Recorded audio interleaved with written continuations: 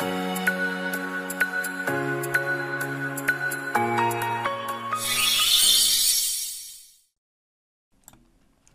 い、こんにちは、レトスノーノです。本日は昨日もお伝えをした通り、来年の宅建試験に合格するために必要な理解学習の具体例について動画をアップさせていただきました。この動画は理解学習の中でも最も重要な問題文の理解について解説しております。無料の動画はたくさん上げているんですけども、問題文の理解についてはほとんど出しておりません。これが合否を決める一番の核となる部分なんで、ぜひご覧ください。この動画の最後にお知らせいたします。また、この動画の下の概要欄にも URL 貼っておきますので、ぜひご覧ください。それでは本日の3問に入っていきます。校区には所有権及び抵当権に関する事項が、おつくにはそれ以外の権利に関する事項がそれぞれ記録される丸か×かという問題ですね。考えたい方は一度動画ストップしていただいて、この動画の下の概要欄の方から問題文を確認していただければと思います。で、答えは×です。えそもそも登記記録、え当本とか、え登記事項証明書ですね、には、表題部と権利部に分かれています。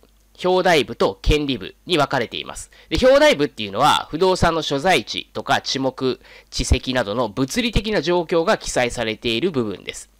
一方、権利部は、所有権や抵当権などの権利の内容が記載された部分なんですね。そして、権利部っていうのは、校区とおつくに分かれています。で、校区には所有権に関する事項、つまり所有権移転登記とか差し押さえなどが記載されていて、おつくには所有権以外に関する事項、つまり抵当権などが記載されています。そして今言った内容を登記記録で確認すると、まず表題部と権利部に分かれますよね。で、表題部は例えば所在とか地盤とか地目とか地籍とか、これ物理的な状況ですよね。が記載されていて、権利部、これ2つに分かれるんですけども、権利部は権利に関する内容。所有権とか抵当権とかですね。で、権利部も2つに分かれて、校区とおつくに分かれると。で、校区は所有権に関する内容。所有権の、これ、合併による所有権の登記、ちょっと珍しいですけども、まあ、所有権の登記ですよね。あと、これ、所有権の移転登記ですよね。つまり、これ、所有権の登記に関する内容です。で、こっちが抵当権、いわゆる所有権以外の内容なんですね。おつくには所有権以外の内容。まあ、ここにもね、細かくちょっと見づらいかもしれないんですけども書いてあります。所有権以外の権利に関する事項。これがおつくなんですよ。で、これを前提に問題文を見ると、校区には所有権及び抵当権に関する事項って書いてあるんですね。これ間違ってますよね。校区には所有権のみです。所有権のみに関する事項で、おつくには所有権以外、つまり抵当権などの権利に関する事項が記録されるので誤りだということになります。で、この問題はやはりもう頭に入れていただいたら、覚えたらもうそれで解ける問題なんですよね。表題部と権利部があるんだ。で、権利部は校区とおつくに分かれるんだ。え、校区には所有権に関する事項が記載されていて、おつくには所有権以外の権利に関する事項が記載されているんだ。覚えるだけで解ける問題なので、え覚えちゃいましょう。で、え問い2に入る前にまだチャンネル登録していない方は、この動画の下のチャンネル登録お願いいたします。で、続いて問い2です。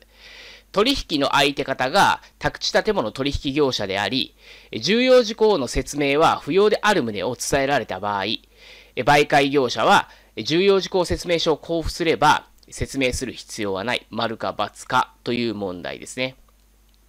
で、答えは丸です。相手方が宅建業者の場合、えー、重要事項説明、省略することができます。これは、重要事項の説明を省略することができるのであって、35条書面の交付、これは省略できません。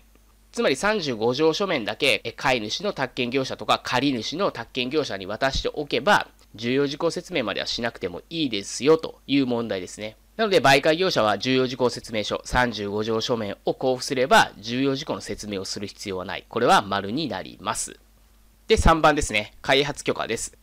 学校教育法による大学の建築を目的として行う開発行為は、開発許可が不要である、丸か×かということですね。答えは×です。まあ、幼稚園とか小学校、中学校、高校、大学、専修学校、まあ、そういったものの建築を目的とする開発行為は原則許可が必要なんですね。例外には当たりませんので注意してください。したがって、×になると、開発許可不要ではないから×ということになります。で、これは基本的な問題で、まあ、単に、えー、覚えていれば、えー、解けるんですね。しかし、この問題を少し、えー、いじってしまったり、違う角度から出題されると間違える方が非常に多いんですね。なので、まず考え方をしっかり押さえておくっていうことが、まず一つですね。